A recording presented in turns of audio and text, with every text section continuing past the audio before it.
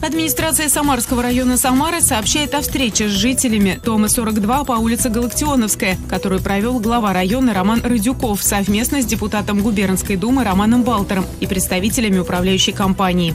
Вместе с жителями они рассмотрели вопросы обслуживания жилого фонда, оплаты коммунальных услуг. Совместно наметили пути решения возникающих проблем. Департамент опеки, попечительства и соцподдержки Самары рассказывает о том, что такое гостевой режим. Это хорошая возможность ближе познакомиться с ребенком перед оформлением опеки или усыновления. В идеале лучше, чтобы в семье были и отец, и мать, но гостевой режим могут оформить и одинокие люди. Гостевая семья, как правило, принимает ребенка на небольшой срок – от одного-двух дней до одного месяца. Обычно это выходные или каникулы. Длительность, периоды, конкретные сроки определяются организацией, где находится ребенок.